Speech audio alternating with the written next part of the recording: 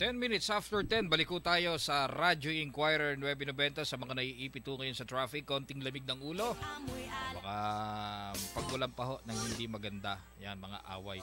Pinapanood ko kanina yung ano, yung uh, inilagay ni James Deacon sa kanyang uh, Facebook account.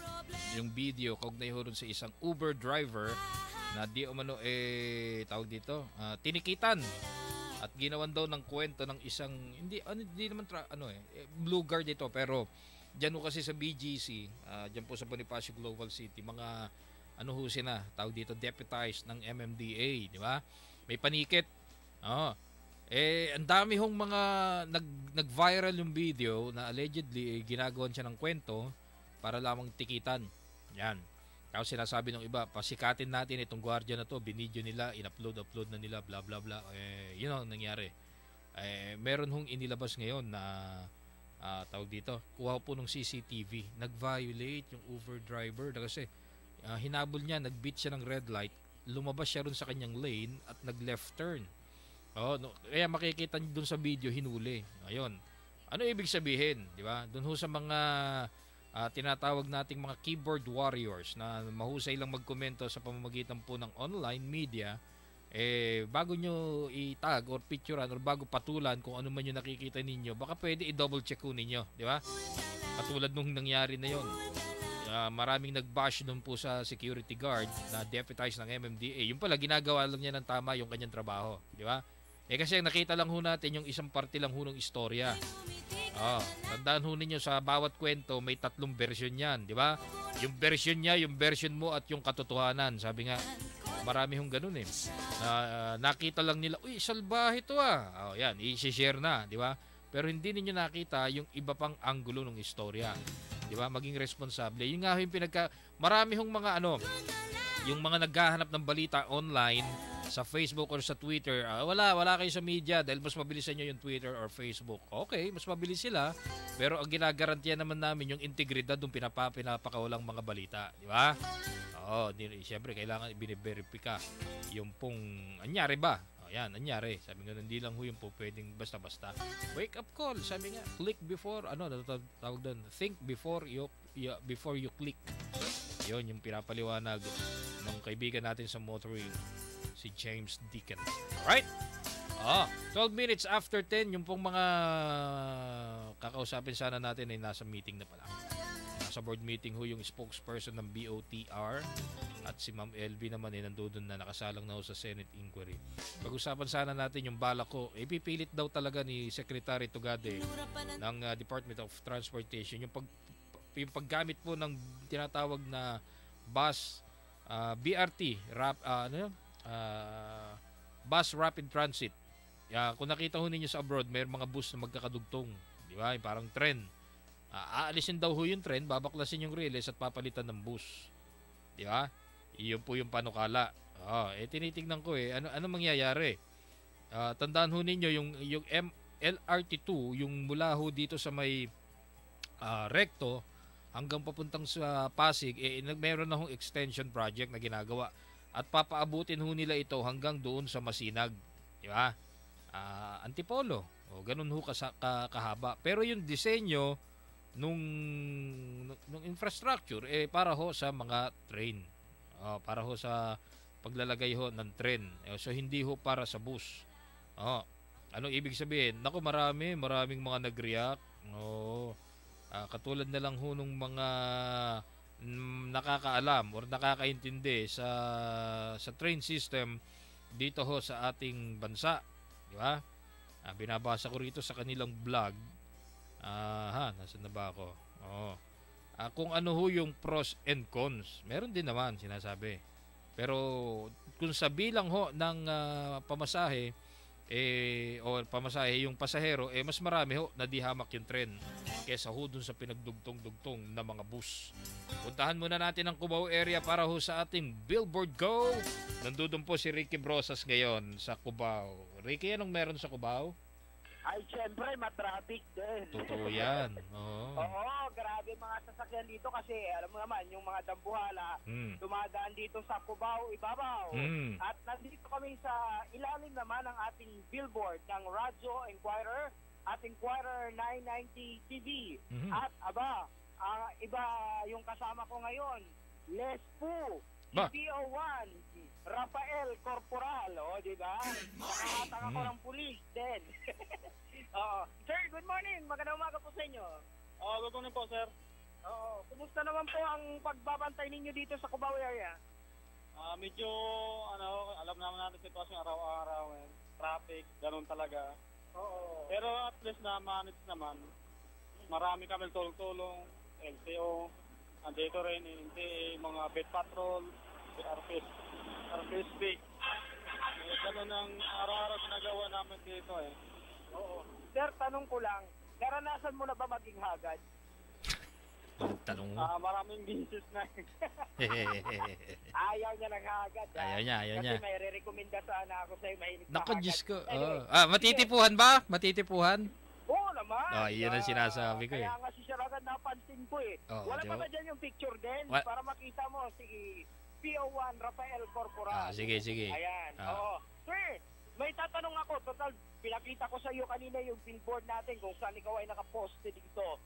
Ngayon, para sa mga listeners at viewers namin sa Radio Inquirer at Inquirer 990 TV, kung mag-detect sila, anong text line sila pwede mag-send ng kanilang mga mensahe? Yan. Well, Nako. Yung text line po, ay pwede naman po sa ano, yung 4467 sa Daily Inquirer. Mm-hmm. Okay, 4467. Then, ayan ha, pag pag ikaw ay may may spatan dito na aksidente o anong kaganapan, i-text mo I-text mo na. 4467 na. Ah. Okay. Uh, sige po, yan po yung kailangan din namin mga uh, number na yan, mga mm. emergency number. Okay, Ayun. sige. At congratulations. Tanggapin mo itong simpleng handog namin sa iyo uh, mag mula sa Radyo Inquirer.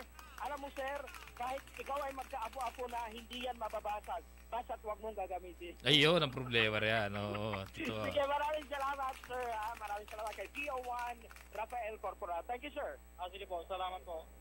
Okay, maraming salamat. Balik sa iyo din. Galing. Mahilig sa pulis si Ricky. Ah. Okay, Cubao area, PO1 Corporal. Oh, yung, mas mataas yung kanyang ano, apelido kaysa sa rango. Siya ay PO1 pa lang pero yung kanyang rango ay yung apelido niya ay corporal na. Ang corporal nung araw ay pangatlo, no? Oh, yun yung PO3 ngayon. Kasi P uh, patrolman, then PFC, then corporal nung araw. Pero ngayon ay PO1, PO2, PO3. Ayun. Sana ma-promote. Oh, yung mga lespo. Alright, 18 minutes after 10. Dito pa rin sa Radio Inquirer 990. Nasa na ba? Nasa na? May tumawag kasi na wala tuloy. Yung binabasa ko. Oh, ito. Yung project ko ng Philtruck Group of Yuseco. Ah, sila rin nasa likod nito. Eh, pahintuin yung operasyon ng MRT or LRT2 para palitan po ng tinatawag na bus. Ah, BRT. Bus Rapid Transit. Ah, yung ibabaw po yan ng ay, yung, yung ruta na tinatakbo ng uh, ah, LRT2. Uh, sabi ho rito, government plan to augment MRT3 with a BRT system in EDSA uh, para daw humais or mabawasan yung traffic congestion. Ah. Ayun. No. Ang inventor daw nito ay si Francis Yuseco Jr. Ayan. Noy Oh. Ayun siguro yung sinasabi nila. Pero ano ba yung balanse? Ah, saan ba mas maraming makikinabang? Okay. Uh, pagka BRT versus MRT2, sabi ho rito. Uh, nasan na ako? Ang haba ho ng BRT ay 18,000 mm, 18,000 mm. Uh, 18. Ang haba ho ng LRT2 ay 90. So mas maraming tao. Uh, ang capacity ho ng bus ay 56 tawag dito uh, kada isang bagon di ba? Uh, ng bus or 80 pala 80 80 yung bagon or bus. Samantalang yung MRT 1,860 nakita nyo diferensya? Ang buhay daw ho ng isang bus ay eh, 15 or 10 hanggang 15 years. Ang trend naman ay eh, 30 hanggang 45 so mas mababa sa maintenance. O, doon tayo sa presyo para ho dun sa 10 to 15 years na buhay po ng bus, kung sakaling ma-approve yung BRT dyan po sa LRT2 na ruta, gagastos po ang pamahalaan kada bagon ng 9.39 million dollars para ho sa 15 years na operasyon. Ha? Samantalang doon po sa mga tren, kada bagon, oh, yung fleet na tinatawag, eh gagastos po ang gobyerno ng 1.99 million dollars. Mas mura. Mas mura. Uh, uh, tawag dito, mas mura, mas marami yung masasakay. Yan, yan, yan, yan, yan. Teka, may tumawag kasi, wala na naman. Aha. Uh, driver. Aha. Ang sabi ho rito sa comparison, pag-aaral po ito ng ilang mga grupo, uh, doon po sa articulated bus, eh kinakailangan po ng 414 drivers para ho maabot yung 500,000 ah, na capacity. Ah, na yung ibig sabihin yung length ng pagbiyahe para maserbisyohan yung ganong karaming tao, kalating milyon. Uh, 414 drivers sa MRT, yung kasalukuyan pong uh, sistema, Uh, 18 drivers lang. Uh, dahil nga mas maraming pasero na may sasakay. Ayun ang sinasabi, di ba? Uh, speed. Uh, dito nagkakatalo rin. Yung bus daw ho itatakbo lang ng hanggang 60 kmh kilometers per hour. Whereas yung train, eh, kaya tumakbo ng 80. Ah, pero hindi. Hindi naman tumatakbo ng 80, di ba? Lalo, yung MRT nga 20 lang yata or 25, di ba? Ang bagal. Oh, yung LRT1 ganun din mabagal. Hindi ko lang masyadong kabisado yung LRT2 dahil uh, bihira ho kung dumaan diyan. Pero yun daw ho yung pinakabago at marami nagsasabi mas maluwag. Oh, kahit dumi pa di pa pakadumi pa. Never daw na nagkaroon ng siksikan sa LRT2. Hindi ho katulad nung MRT3 at yung LRT1. Naalala ko nung nagkaroon ng Undoy. Oh, naalala niya yan, di ba? 2009. Ah, binaha ang malaking bahagi ng Metro Manila. Alam niyo ba, ang laking bagay ho, ang laking tulong ng LRT2, yung mula dyan sa Maynila hanggang Pasig. Kasi sa Marikina, isa ho dun sa binahang lugar, wala akong makapuntang mga sasakyan nung time na yon. Oh, naalala ko, kakwentuhan ko yung spokesman, kaibigan natin, si, uh, ano ba rango niya ngayon? Lieutenant uh, Commander Armand Balilo, oh, na kapatid ni Attorney Joanna Balilo. Uh, kinukwento niya din yung mga inflatable na mga watercraft namin. Isinakay namin sa tren. Oh pagdating doon sa may Pasig doon sa dulo ng station saka namin pinahanginan. O di mabilis yung biyahe di ba? Yung deployment ng tao nila uh, from Manila dahil nandun ho yung headquarters ng Philippine Coast Guard. Eh, sa tren sila bumiyahe nasa taas di ba? Para nakarating agad doon sa may Pasig. Uh, di ba? Laking tulong din. Ah eh, mas marami nga may sasakay kasi nga trend kumpara dun sa bus. Ngayon, ngayon uh, may mga public hearing tayong ginagawa dyan po sa Senado, dun po sa Panukala. Pero as we speak, sabi nga, italagang eh, desidido ang DOTC Secretary na uh, subukan yung BRT. Pero 'di ba, kung susubukan rin lang at hindi naman talaga i-implement, eh, ang laki yung perwisyo. Tatanggalin niyo yung release, tatanggalin niyo yung mga kawad ng kuryente overhead, 'di ba? Tapos pagdating ng susunod na administrasyon, sasabihin, palpak yan, balik natin yung train. Nakita nyo yung gastos, di ba? Kaya kinakailangan pag-isipan. Or kung gusto ninyo, gumawa kayo ng kahalintulad na proyekto sa ibang lugar na wala pang tren, na wala pang MRT, na balak ninyong tayuan ng MRT, doon nyo subukan. Oo. Pero wag na ho sa may linya, di ba? Katulad niyan, yung ginagawa pa ho yung extension from uh, Pasig or Marikina hanggang doon sa may Masinag uh, sa may Antipolo. Sayang ho yung proyekto, di ba? Uh, tignan muna natin at pag-aralan ho maigay ang proyekto na yan. 24 minutes after 10 dito pa rin sa Radyo Inquirer 990. Happy happy listening muna sa mga kapandisal natin diyan sa Maynila. Oh kina BM, kay Boss Mel Tadeo at siyempre sa sa CEO po nila, Chief Executive Officer na si uh, Ma'am Maan Gonzales. Yan, uh, mga nakikinigo at nanonood sa pamamagitan po ng Inquirer TV uh, dyan po sa kanilang opisina sa may Vito Cruz Kapandisal Foundation. Coop, uh, Kapandisal Cooperative. Yan. Dami ko natututunan dun sa uh, programa na yan tungkol sa pag uh, pagsisave ng pera, uh, 'di ba? Uh, yung pag-save at yung tamang paggamit to ng pera. 'Yon, mara o, uh, 'yun ang maganda nating ituro sa mga kabataan. Yung pong pagbabangko. 'Di ba? Hindi yung pagka may pera eh ang hinahanap eh. Ano pang pinakamurang gadget, ah, pinakamura, pinakamagandang kakayanin ng aking gadget ngayon or ng aking budget. 'Di ba? May ganun eh. Oh. lalo na uh, malapit na yung Setyembre, looking forward tayo sa Pasko pagtanggap ng mga biyaya, sabi nga, bonuses or what, ang una kong binibili natin eh gadgets, yan, yan mga gamit. Eh, after a year, magkano na? Nag, ang bilis mag-depreciate ng budget, uh, ng, uh, ng, uh, ng, ng, ng valor, ng value ng mga gadgets. Bibili kayo ngayon, after a month, may bago na naman, di ba? Manghihinayang ka ngayon. Ayun, uh, bababa agad yung ano, uh, yung kanyang uh, value. Whereas kapag nag-impok kayo, sa tama ah, oh, may iba kasi talagang oh, saan saan nilalagay. Walang masama sa networking, sabi ko ganyan, pero hindi lahat ng tao eh pasok sa networking. Ang ayaw ko diyan yung parang ano eh, di ba? Inaalipin mo yung downline mo, parang ganoon. uh, with all due respect, marami akong kaibigang yumaman at kumita sa networking. Pero hindi ho lahat ng tao ay para doon. Yeah. oh, kaya pag kami nagte-text sa akin then kapi tayo minsan. Yung tagal mo nang hindi nakita di ba? Oh. then open-minded ka ba? Yan yung mga ganun mga tanong kinakabahan ako. Repo Pips pagka networking medyo pass muna ako dyan ha? Oh.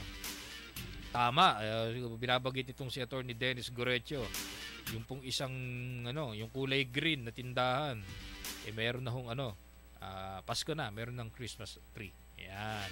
Eh, tayo naman Pinoy, ganun eh. Setyembre pa lang, yung iba naglalagay na ng Christmas tree. Tapos, oh, patapos na yung Enero, may Christmas tree pa rin, di ba? oh, yung isa beer house, hindi na tinatanggal yung Christmas light, di ba? Talagang tuloy-tuloy yan. Oh, Pasko throughout the year. Yung patay sinde, di ba? Hindi na nila tinatanggal. O ay mga bumibili ng Christmas uh, light. Uh, tingnan ho ninyong maigi. Meron ng mga ilaw na pang indoor lang. Huwag ho ninyong ipilit sa labas. Uh, iba ho yung specs niyan, sabi nga. At siyempre, ito na naman tayo, lilitaw na naman yung mga uh, mga fake, uh, 'di ba? Yung walang uh, tawag dito, uh, hindi dumaan sa pagtingin ng DTI. Uh, hinahanap natin yung seal, uh, 'di ba? Ano tawag doon? Uh, Rose yung uh, yan ba ay dumaan sa pag-inspect ng ah, DTI na inspect ba yan, na, yan ba na, na, nakita? Yung wiring ba niya ni tama yung sukat? Yan di ba? Tinitingnan natin. Oh yon tapos yung Eco Waste uh, Eco Waste uh, Coalition naman iba naman. Oh, nako mataas ang lead content niyan, yeah, ganun lagi, di ba? Oh, ICC number, correct, attorney. Oh, tinitingnan yan. Eh, napepeke. May, mayroong araw, di ba, dati may na-raid sa may Santa Cruz, nagbebenta ng sticker. Oh, para lang, or pinapalitan lang yung mga old stocks nila. Eh, binudegan nyo yun eh. Nilagay niyo sa warehouse ng matagal. So, nainitan, na, nalamigan, so yung wiring eh, nagiging brittle. Lumulutong. Di ba? Oh, pwedeng masira. Uh, ang uso ngayon, marami LED. Uh, unang-una tipid sa kuryente tapos hindi matagal mapundi, di ba? Pati sa mga sasakyan yun na hong ginagamit. Yun. Marami na hong ganon. Pero yun nga, uh, meron hong mga uh, ilaw na hindi ho po pwede sa outdoor. Huwag ho ninyong ipilit. Tignan ho ninyo uh, basahin. At kung hindi ho kayo maalam, kumuha ho kayo ng mga electricians na tunay. Ha? Hindi yung mga sideline lang na nagpapanggap na marunong. Eh, sila ho paglagayin ninyo dyan. Di ba? Ayun.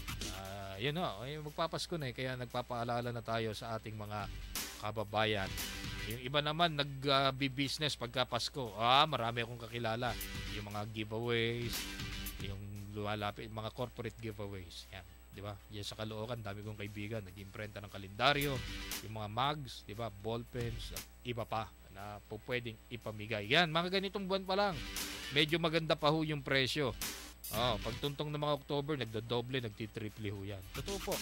Ah, doon po sa mga nagbabalak, di ba, na mamimigay ng kanilang pang pa, pa, alam niyo na, pang uh, gimmick para ho sa Pasko. All right? Ba yan, pinag-uusapan natin Pasko. Eh nag-uulan pa.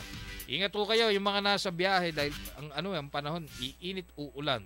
Kaya kanina yung mga nagmumotor no nakahilera doon sa ilalim ng uh, eh, LRT station sa may TAF uh, naghihintay silang uh, tumigil yung ulan. Ganun talaga eh, di ba? Pag nasa EDSA naman kayo nabutan na sa ilalim kayo ng MRT. Uh, ingat to ha, ingat dun sa mga motorista ho natin ngayon pong umagang ito.